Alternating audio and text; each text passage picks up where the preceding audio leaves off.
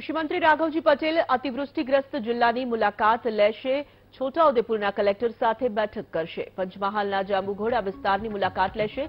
બોડેલી તાલુકાના અતિવૃષ્ટિગ્રસ્ત થયેલા ગામોની મુલાકાત લેશે. નર્મદા જિલ્લાના અતિવૃષ્ટિગ્રસ્ત ગામોની પણ મુલાકાત લેવામાં આવશે.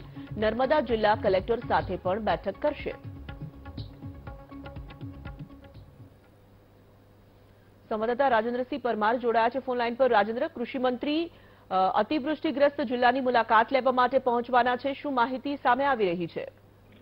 આજે રાત્રિના દસ કલાકે કૃષિ મંત્રી છોટાઉદેપુર ખાતે પહોંચશે અને આવતીકાલથી તેઓ છોટાઉદેપુરમાં જે વરસાદથી પ્રભાવિત થયેલા જે ગામડાઓ છે, જ્યાં સૌથી વધુ પાકનું નુકસાન થયું છે તેવા ગામની મુલાકાત કરવાના છે અને સાથે સાથે છોટાઉદેપુર કલેક્ટર સાથે તેઓ સમીક્ષા બેઠક પણ કરવાના છે. આ ઉપરાંત તેઓ નર્મદા જિલ્લાના કલેક્ટર સાથે સમીક્ષા બેઠક કરશે અને નર્મદામાં પણ જે પાકને જે નુકસાન થયેલા જે ગામડાઓ છે, એ ગામડાઓની તેઓ મુલાકાત કરવાના છે. આમ એક દિવસના પ્રવાસમાં તેઓ બે જિલ્લા કલેક્ટર સાથે સમીક્ષા બેઠક કરશે અને વિવિધ જે ગામડાઓ છે જ્યાં સૌથી વધુ પાકને નુકસાન થયું છે, તો એવા વિસ્તારની તેઓ મુલાકાત પણ કરવાના છે.